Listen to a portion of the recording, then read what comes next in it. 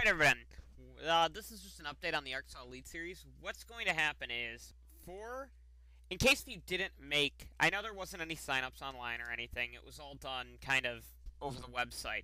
However, in case if uh, you didn't sign up, there's still one more chance you can have to get into the ARCSOA Elite Series through this sign-up video.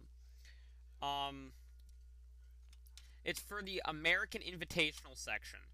For the three longest races of the year, there are three races that are what I call endurance length races. There's the American 700, the Indianapolis 400, and the Michigan 500. For all four of those ra- for those three races, we're going to lengthen the field by 10. And those 10 drivers will be fighting for their own mini championship that will be more NASCAR based. Um, what it will be is you'll have a 10, 9, 8, 7, 6, 5, 4, 3, 2, 1 point system, and they're going to be fighting for their own points, and not for the regular Elite Series points. And it will be a more spread out kind of situation.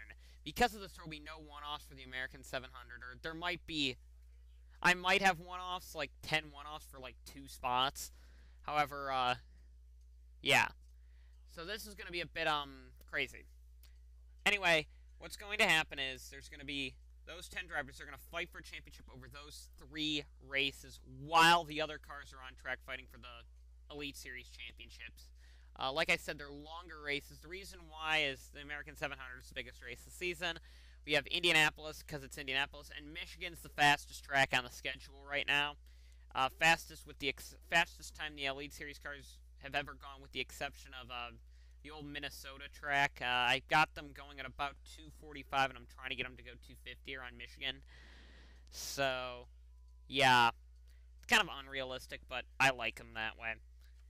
Uh, making making it kind of fun and interesting. So anyway, if you guys want to sign up, please comment below. I'm going to be very selective, and if um if you already have a full-time driver in ARCSOA, please you can sign up However, ex don't expect to make it if we have 10 people that don't have a full-time ride that want to get in. I'm going to be selective. It's not first come, first serve. I'm going to warn you that. So if you sign up and say, oh, well, I didn't get accepted and I signed up beforehand, it, I don't care. I'm picking the people who I think are the most worthy of a ride. Alright, I will then see you then. We still have to get through Europe and then Daytona and then Ohio and then will be at the three races, and they're all back to back to back. So these races are so um yeah. Uh, that's pretty much it, and um, there might be an elite race up today. I don't know.